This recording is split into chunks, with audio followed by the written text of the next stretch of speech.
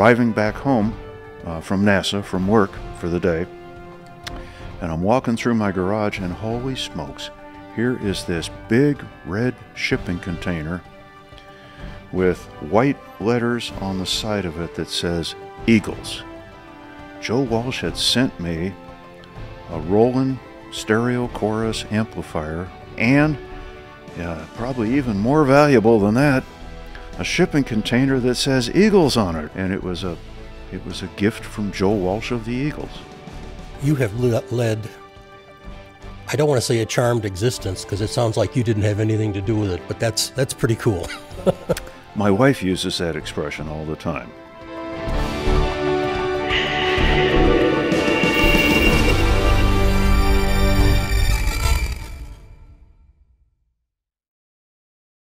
I have lived a, I guess I'd say I've lived a very charmed life. I've been so, so very lucky uh, for example, if we're going to a busy restaurant and we show up in the parking lot, there will be a parking space right up front.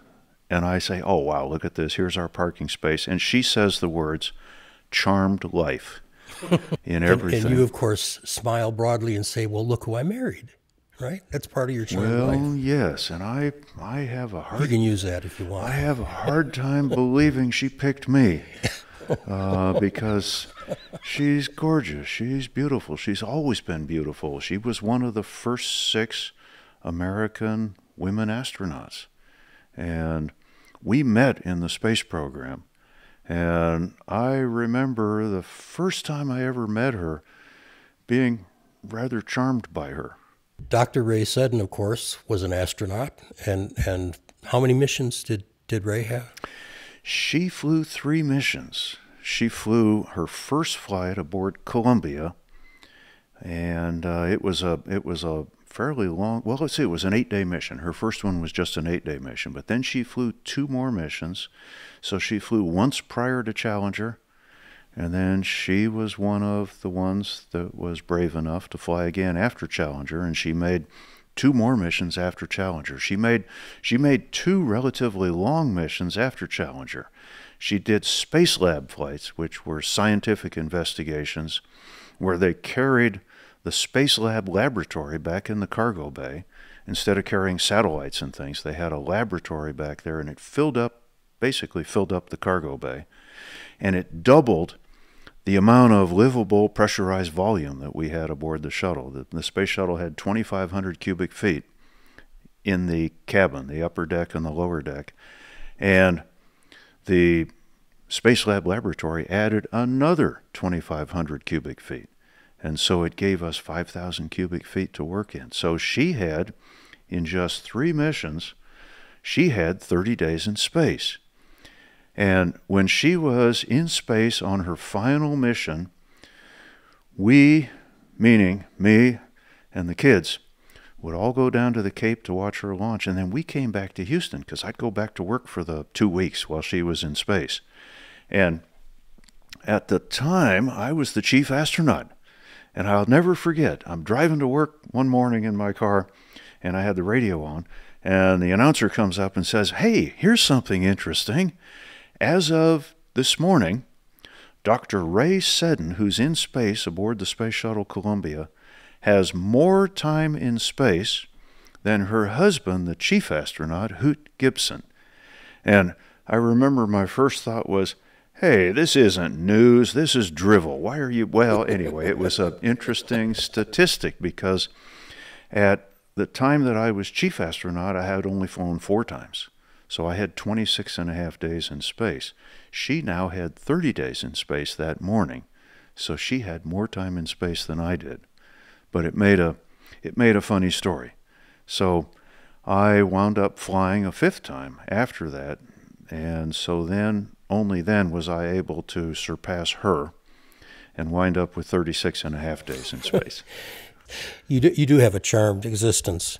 Um, years ago, and I mean maybe 30 years ago, I remember uh, making a trip down down to NASA and seeing the simulator, the pretty much the full size shuttle, and uh, had a chance to talk to to Rhea then. And uh, at that time, people were starting to talk about Mars, and it just when she started to delineate the challenges to the human body of being weightless that long and then encountering whatever gravity's on Mars and then Earth's gravity upon return, um, I almost came away feeling we, are never going to go to Mars because we don't know if the body can stand it. It was it was a fascinating interview, and I hope we get we can get her. Does she come into the hangar? It isn't just a man cave, right? She she does come into the hangar. Yes, yeah, that's that's good to know. Yes. that's good to know. Yes, Rhea came in as a medical doctor. Uh, she was a general surgeon. In fact, she was the most advanced medical doctor that we had ever picked to be an astronaut. Three, two, one. We have SRB ignition and we have liftoff. The shuttle has cleared the tower. What a fascinating thing to be in the first group of women to come into the astronaut program. How do women's bodies differ from men's when you put them in this strange environment?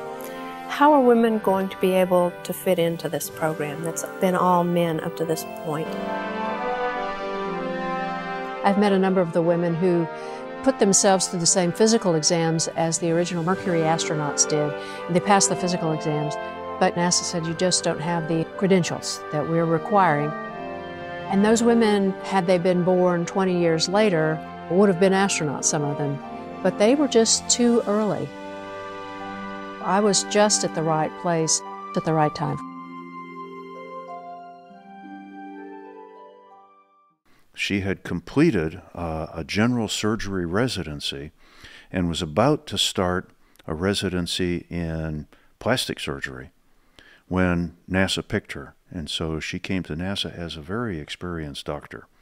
And she was very fascinated by and interested in all of the human aspects of going to space. So, as you mentioned, uh, back that would have been about 1992 that she would have brought up the fact that we're not sure if we can send humans to Mars because you've got to be weightless for about eight months on your way to Mars. It could conceivably be as long as eight months, depending on where Mars is with respect to Earth. And then all of your time on Mars, you're going to be at one third gravity. One third of Earth's gravity is what you'll see on Mars and then coming back. It could conceivably be another eight months. And so, what are what are the effects we have we have seen? And she'll be she'll be much better to talk about this. But we've seen calcium loss out of the bones, uh, which resembles osteoporosis. And so NASA has been studying that because if we can figure out how to prevent that, we can save women from experiencing osteoporosis as they get older. So Rhea has always been very interested in the life sciences investigations that are done on board the space shuttle. Most of the astronauts tried to avoid those like the plague because that involved blood draws and uncomfortable and unpleasant things. She was one of the few that said, I want to be part of this investigation. So she's she's been a real valuable astronaut to NASA because she she welcomed all of that. And so she wound up flying. Her second mission was Space and Life Sciences 1 is what the mission was called. And then her final mission, she flew as the payload commander for Space and Life Sciences 2. Welcome to Hoot Gibson's hangar, and we have a very special guest joining us today astronaut Rhea Seddon, and also my wife. Well, welcome to Hoot Gibson's hangar. Thank you so much, Hoot. It's a delight to be here. Well, we're going to talk a little bit today about uh, some of our mutual experiences over the years. And to start off, though, we don't need to hear me talk. Why don't you tell us about Tell us about how you got to NASA. Well, you know, I think my earliest remembrance about the space program was standing out in my backyard, a little town here in Tennessee. And my father took me out there and said, Look up. And there was a little light blinking across the sky. And he said, That's something called a satellite. And you're seeing the beginning of the space age. And that, to a little 10 year old girl, was, you know, kind of like, this is the beginning of something important. And that's one of my earliest remembrances of space. And, you know, that interest in knowing more about that followed me for a very long time. I just hoped that I would be able to fly in space someday. But, you know, at the time, they were only taking male test pilots, and you had to be between five, six, and five, ten inches tall. Well, I was little, I was like five feet tall. So that was not a very um, good thing to be dreaming about doing when I was a little girl. Um, and so I had to sort of decide what else I wanted to do. And when I was a sophomore in high school, I took biology, and I really liked that. So the life sciences became what I thought that I could do and make into a career someday. Okay, and so then you did that? Where I did. did. You, where did you go from there? Um, I went from um, a little town in Tennessee where I knew everybody at my high school. And I decided that I wanted to go to the best school in the country, the best university in the life sciences. And believe it or not, I ended up going from Murfreesboro, Tennessee, to the University of California at Berkeley in the late 60s. And that was a crazy place back then with the free speech movement and women's lib and anti war protests and stuff like that. So um, it was pretty insane. There were times when I thought, I don't really belong here. But they had a really good program in the life sciences. And um, so I made my way through that.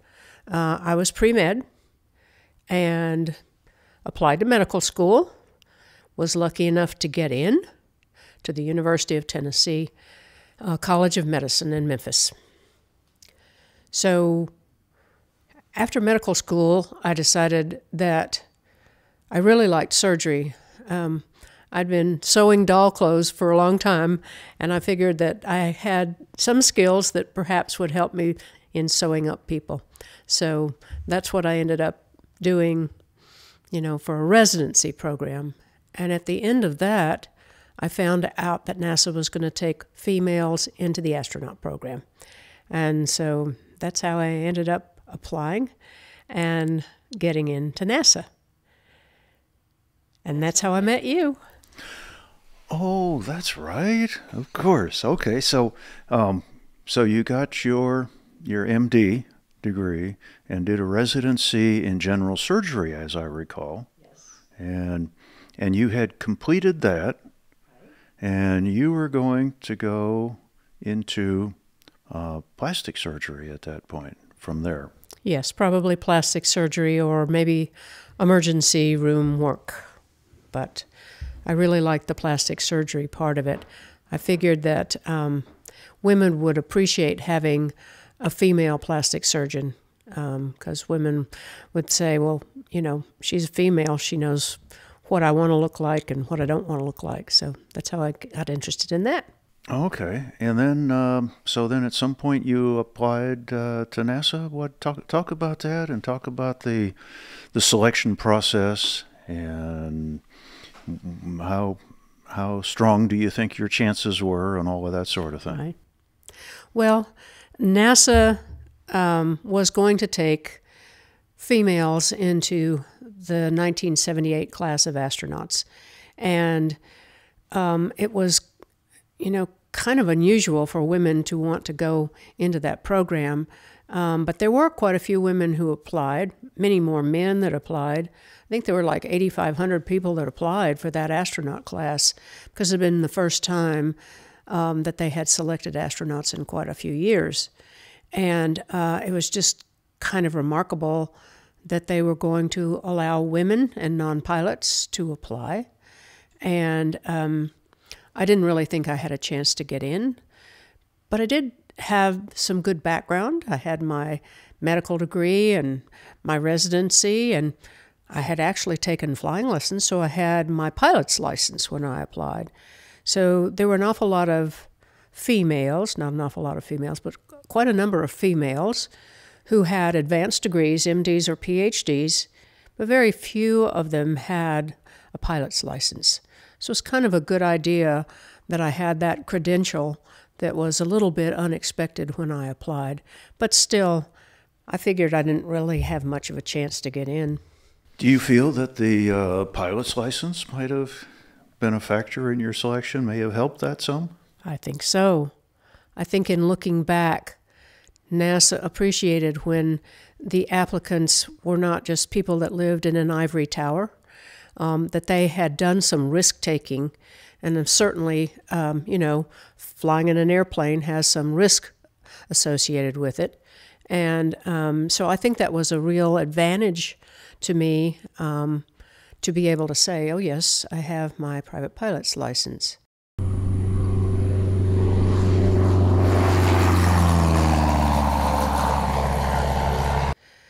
But again, um, you know, you can wish and hope that all the things you've done were correct, but you had to kind of guess along the way.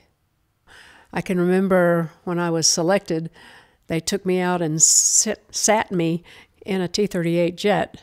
And they said, How would you fly, like to fly this thing? And I'm going, Oh, that would be wonderful. I had no idea what that was going to be like. So, how much supersonic jet time do you have? You flew the T 38 for what, 18 years? You flew the T 38s for 18 years. Probably 1,500 hours of jet time. I'd have to look it up. Okay, well, um, talk about that. What was the uh, what was the program in that? Did uh, NASA send you through Air Force pilot training to learn how to fly the T-38? How did you how did you check out and qualify in the in the T-38s?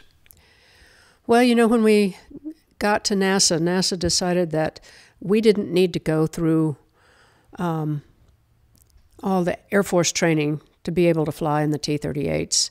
Um, they felt like that would take an awfully long time and they might lose some people along the way who didn't do well. Um, so they put us in the back seat of T 38s, and we always had a, a pilot up front. Um, but the backseaters had to take care of the communication and the navigation. The pilots let us fly it as much as we could or wanted to. So I was lucky that I had some really good teachers to fly in the jets. And I got pretty good at it. I could uh, um, take it right after liftoff and I could fly the airplane all the way to some other city and get it right down to the minimum uh, allowable altitude um, before landing, and the pilot would take over from there. But it was a uh, it was an awful lot of fun. It was a challenge at first, um, but over time, I mean, all the pilots were good at showing us how to do this, and um, you know, I I think I was doing pretty well at it. Got quite a few hours.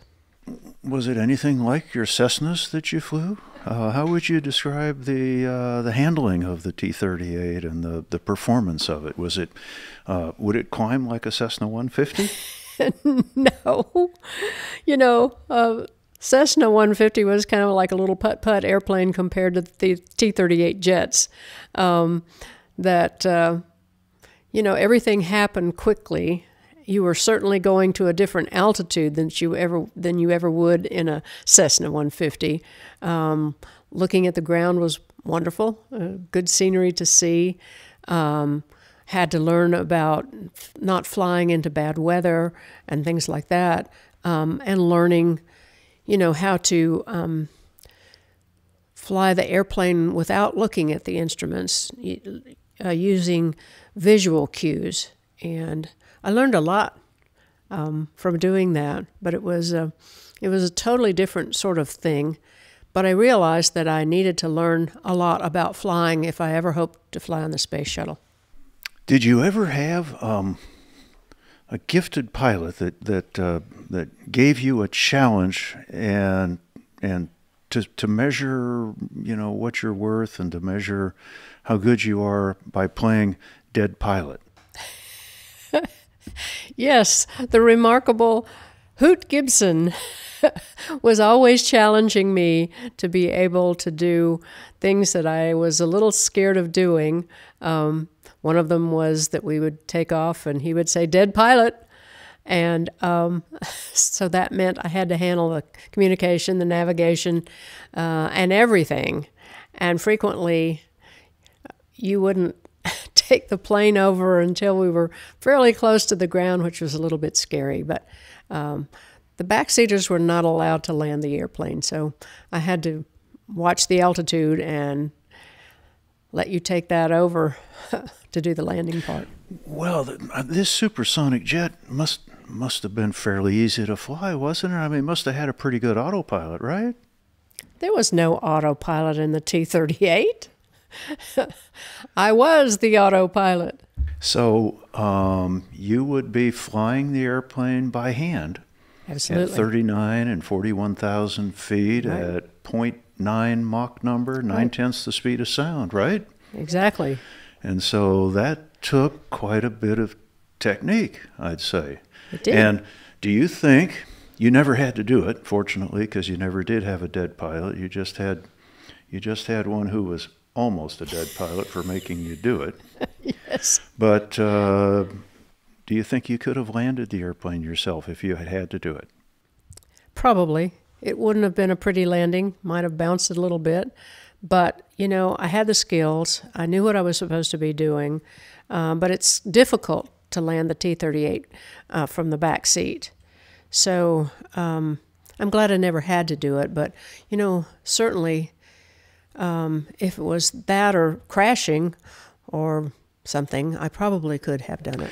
Well, having flown with you a great many times, I think you would have been able to do it as well. That was my assessment, and uh, and and you passed the test, uh, not without some verbal uh, commentary Whining. to me about it. Um, as I recall it, you weren't terribly pleased when I made you play dead pilot. Exactly. You weren't exactly pleased with me, but uh, you flew the airplane all by yourself, all the way from Houston, Texas to El Paso, Texas, over the course of about an hour and a half, and up to 39 or, yeah, it would have been 39,000 feet going that direction. Right. And flew the whole descent into there and then down to about 500 feet when I took it over. Mm-hmm. And uh, I think I had to sleep out in the garage that night. Uh, because uh, you weren't you weren't too pleased that I that I put you through that Right. ringer like that, but you you passed the test. Okay, so that was that was uh, I'd say the T-38s must have been a lot of fun. They were. I mean, you know, once you relaxed in them and um, knew that you could handle the problems and stuff, we didn't have an awful lot of, of problems in the airplane, did we?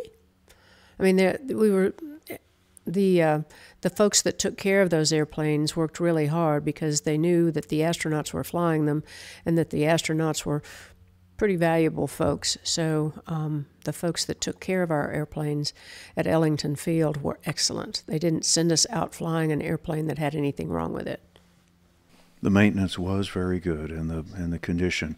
Okay, so um, did did you get to fly the space shuttle as well? You mentioned that you'd like to go to space. Did talk about that some? Talk about uh, the training and talk about uh, whether you actually got to go to space.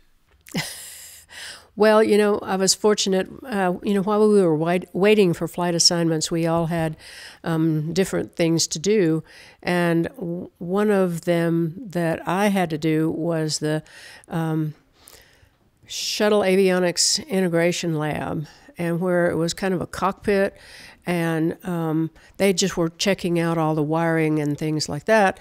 Um, but they wanted us to sit and uh, pretend to fly the thing so they could look at all the uh, the hookups uh, with the computers and things like that and the black boxes. It wasn't a really flying machine, but I had a chance to to actually fly it.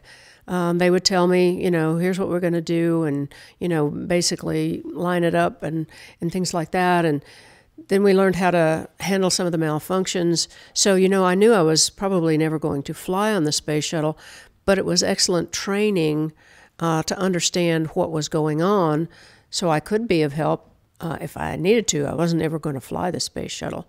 Um, but I learned so much more from working in the simulators.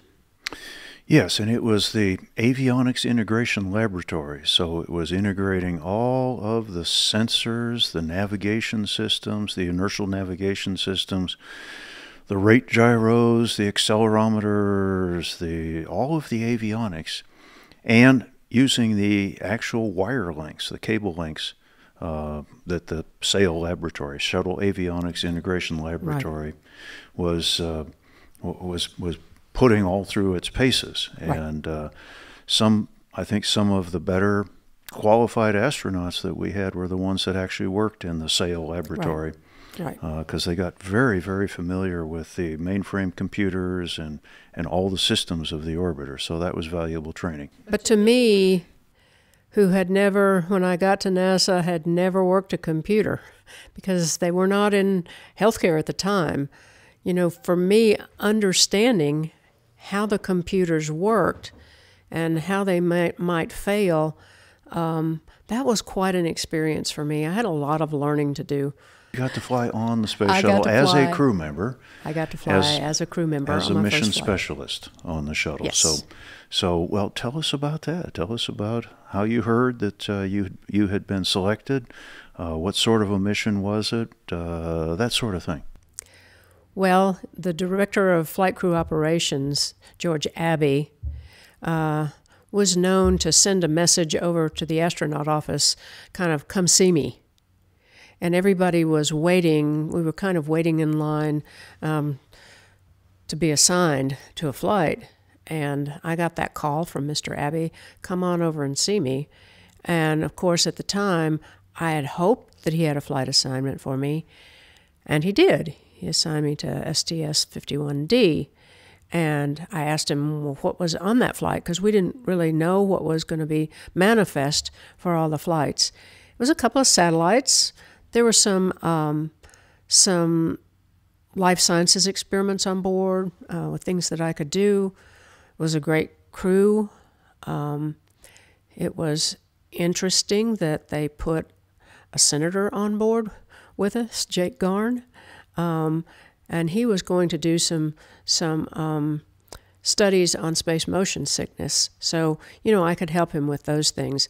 I had an echocardiograph that took. Uh, um, echo pictures of the human heart. So there were a few little things that were in my specialty field. Um, and of course, I could certainly um, help the pilots. I sat behind um, the pilot you know, there was the commander on the left and the um, co pilot or on the right, and I sat behind him. And, um, you know, I had certain things to do. Did NASA call that person the co pilot? No. What did, what did NASA call that person who was in the right seat? Tell me. You're right, the pilot. the pilot. Right? The commander and the pilot. You're right. right. now, was there was there anything funny about commander and pilot? Was the pilot the pilot in command? Nope. The commander was in so command. So the commander was the was the person was the, that flew it. Was the pilot in command?